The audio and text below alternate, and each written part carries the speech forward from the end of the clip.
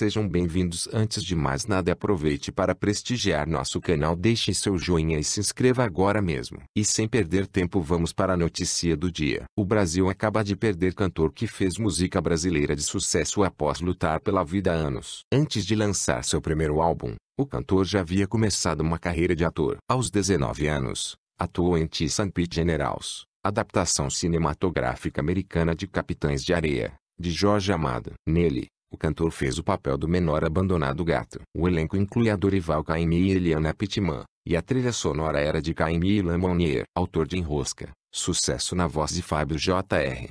e Sandy Júnior, e gravado por cantoras como Zizi Pussy e grupos como Frenéticas. O compositor Guilherme Lamonier morreu na noite desta terça-feira, no Rio. A causa da morte foi infecção generalizada a partir de uma pneumonia. O artista tinha 67 anos. Leia mais https dois pontos barra barra orglobo.globo.com barra cultura barra música barra morre compositor Guilherme Lamonier aos 67 anos 229598821 número XZZ5NH3 Max 5Ws teste. E aí, o que você achou? Deixe seu comentário. Obrigado.